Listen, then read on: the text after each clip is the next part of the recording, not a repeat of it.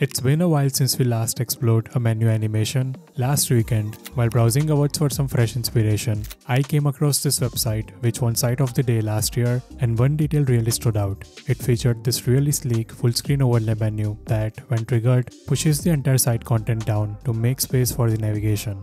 I thought it would be the perfect concept to rebuild, especially after spending the past few weeks on some pretty intricate animations. Honestly, I was just in the mood for something more chill. So I spent a few hours putting together this super clean, minimal menu that captures the same effect. Clicking the toggle smoothly pushes the site content down and reveals the menu with a polished, fluid animation. The design is intentionally minimal, but it's super flexible. You can easily make it your own by adjusting the colors, fonts, or layout. It's also fully responsive and looks just as clean on mobile devices. In this video, I'll show you how to build this full screen menu using HTML, CSS, JavaScript, and some really basic GSAP. If you find my work helpful, give the video a like and consider subscribing if you haven't already. And if you want to access the source code for this project, along with hundreds of other similar micro projects, and a complete new website template every month, you can check out the pro membership via the link in the description. Alright, let's jump in. Let's start by setting up the HTML structure. We'll begin with a nav element which includes two main parts, the logo and the toggle button. For the logo, I am adding a simple anchor tag with an image inside it. This will be our logo PNG. The toggle button is split into two sections, a label and a hamburger icon. The label is just a paragraph element and the hamburger icon contains two span elements. We'll style those later with CSS. Next up is the menu overlay. Now, instead of placing all the menu content like the links and image directly inside the overlay, I'm wrapping everything inside a separate element called menu overlay content. This gives us more flexibility and lets us animate the menu content independently from the overlay background. If you look at the original animation, you'll notice that when the menu opens, the entire content shifts downward slightly as a part of the reveal effect. To recreate that, we'll apply clip path animation to the menu overlay and a transform animation to the menu overlay content wrapper.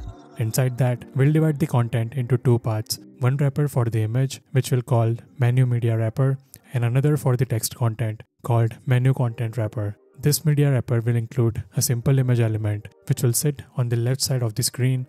The content wrapper will be then divided into two sections, menu content main and menu footer. To create a column layout, we'll split both of these sections into two columns each.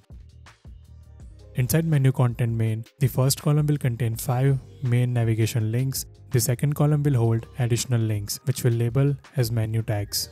In the footer, we'll just add some placeholder paragraphs to simulate content information and location details. That's everything we need for the menu itself. Now to make sure the page doesn't feel empty, let's add some content behind it.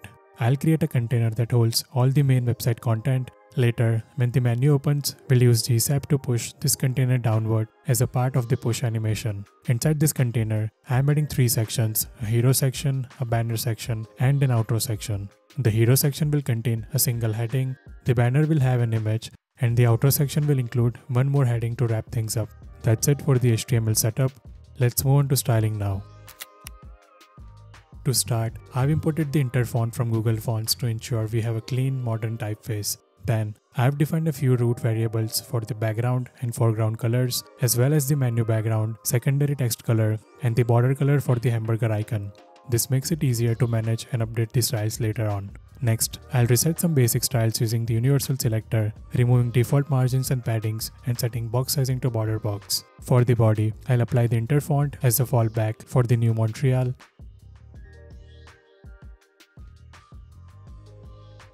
Images will be set to cover their containers while maintaining the full width and height, with object fit set to cover to ensure consistent scaling. Headings will use a large font size with medium weight, slightly negative letter spacing, and a tight line height for a bold, modern feel. Paragraphs will have a slightly smaller size and carry the same font weight to maintain consistency. Links will appear without underlines and will inherit the foreground color. I'll give them a slightly larger size and keep the same font weight. Now let's tell the main container that holds the website content. I'll position it relative, make sure its vertical transform is set to neutral and apply the background and text colors using our predefined variables.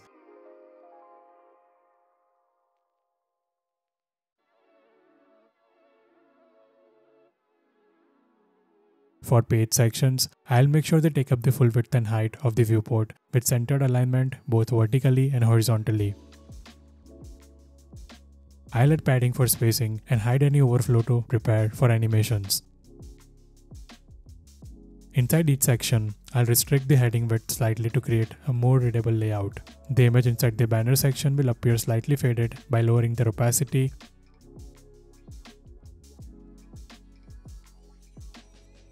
Now, let's move on to the navigation styles.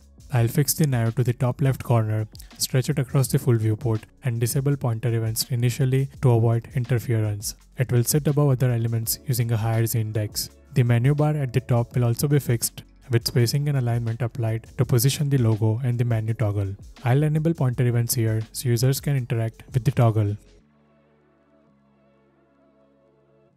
The logo will be styled with a fixed width and height values to keep it compact. For the toggle button, I'll use a flex layout with spacing between the label and the icon. I'll also apply cursor style to indicate it's clickable. The toggle label will be hidden behind an overflow container and I'll apply a transform to its paragraph to allow animated slide transitions later. I'll enable will change for better performance during those transitions. Next, I'll style the hamburger icon.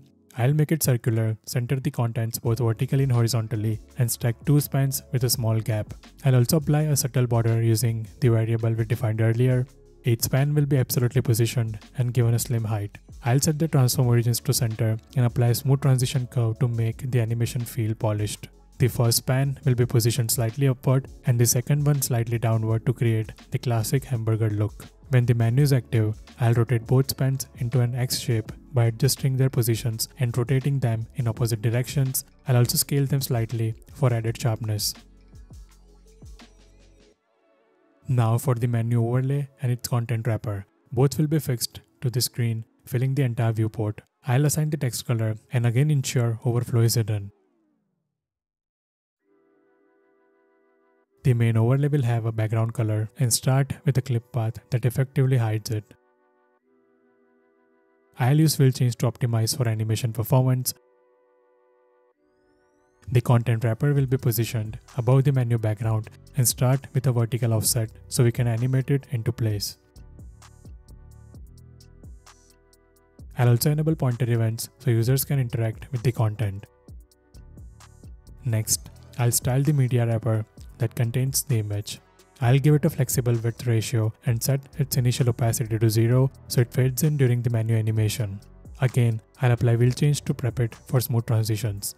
Inside, the image will appear faded by reducing its opacity even further. Then, we move to the content wrapper beside it, which will take up more space and use flex layout to organize its children. The main content inside will be absolutely centered using a combination of top, left and transform this helps align the navigation links perfectly within the screen. The footer will be centered horizontally and placed at the bottom with auto margins. Both the menu content and footer will use the same width and padding, laid out using flex with spacing between columns. I'll align items to the bottom to keep the structure grounded. Each menu column will be arranged vertically with small spacing between items. The first column will be slightly wider than the second to emphasize the primary links. Links inside the menu will use larger font size and generous line spacing to create a bold editorial layout. Tags in footer text will use the secondary foreground color to create a visual hierarchy and keep the emphasis on primary links. Next, I'll define a utility class for split text animations. I'll give it a relative positioning and enable will change on transform so the GSAP animations stay smooth. Finally, I'll add responsive styles for smaller screens on smaller viewports, I'll reduce the font size of the headings and letter spacing for better readability. I'll also let headings take up full width instead of limiting them. The media wrapper will be hidden entirely on mobile to save space. Both the main content and footer will stretch across the full width and the content will stack vertically instead of side by side. I also align everything to the left and add more spacing between menu sections. Menu links and tags will use smaller sizes to fit nicely on mobile screens. That wraps up all the CSS. Let's jump into the JavaScript and bring this menu to life with GSAP.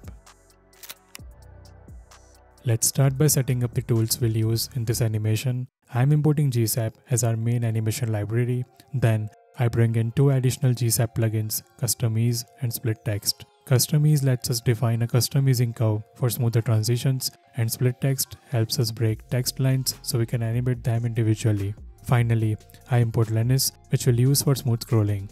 Now, once the DOM is fully loaded, we register the plugins with GSAP.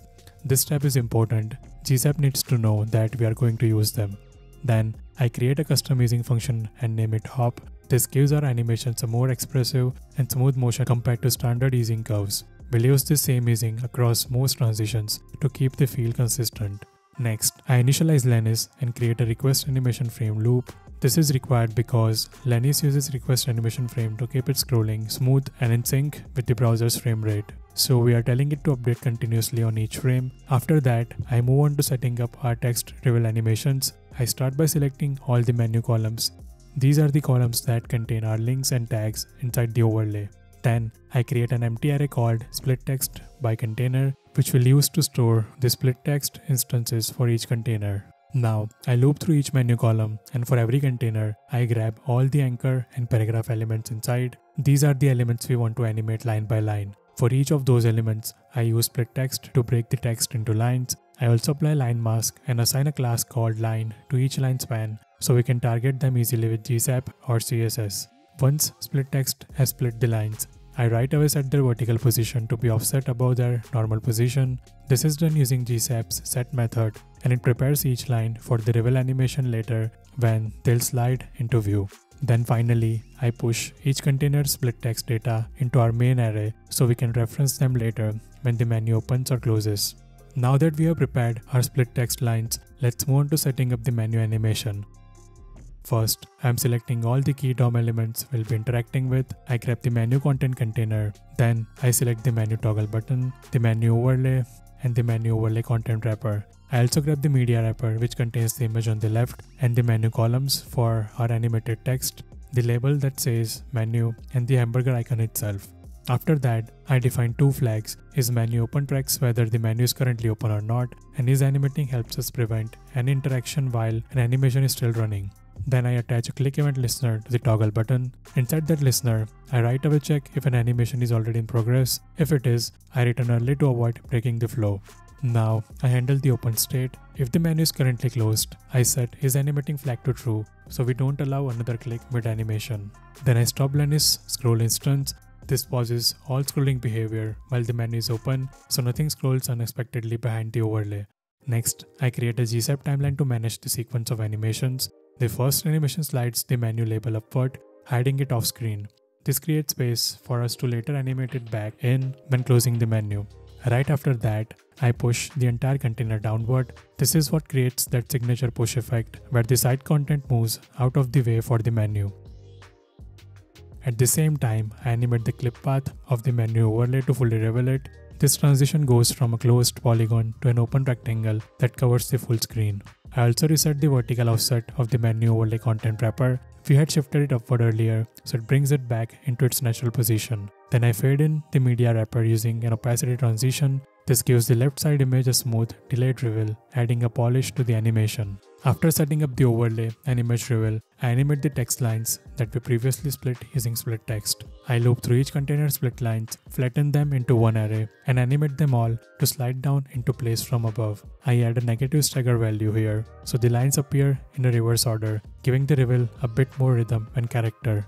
Finally, I activate the hamburger icon by adding a class that triggers the CSS transformation into an X shape.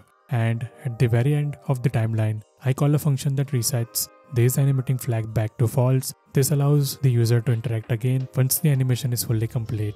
I also set is menu open flag to true, so the next click will trigger the closing animation. Now let's handle what happens when the menu is open and the user clicks to close it. Inside the else block, I start by setting is animating flag to true. This makes sure we don't trigger another animation while the current one is still playing. Then I remove the active class from the hamburger icon so it transitions back to its original hamburger shape using CSS. After that, I create a new GSAP timeline for the closing sequence. The first thing I do is bring the main site container back to its original position. This effectively pulls the entire page content back up into view. At the same time, I animate the menu overlay clip path back to its initial hidden state. This collapses it vertically and removes it from the screen. Then I shift the menu overlay content wrapper back upward using a transform. This gives the menu content a clean exit motion, mirroring how it entered. Right after that, I bring the menu label back into view by resetting its vertical position. I also reduce the opacity of the menu content column slightly as a subtle visual cue while the rest of the menu exits. Once all these animations are done, I run a callback using GSAP's call method. Inside that, I reset all the split text lines by instantly moving them back up off screen. This is important because it reinitializes their state so they're ready to animate back in next time the menu opens. Then I reset the opacity of the content columns back to full and I hide the media wrapper by setting its opacity to 0. At this point, the menu has been fully closed, so I reset the ease animating flag to false and I start Lenis scrolling again so the user can interact with the page normally. Finally, I update is menu open flag to false so the next toggle click will reopen the menu. And that wraps up the entire JavaScript logic for this animation. Hope you found the video helpful. See you in the next one.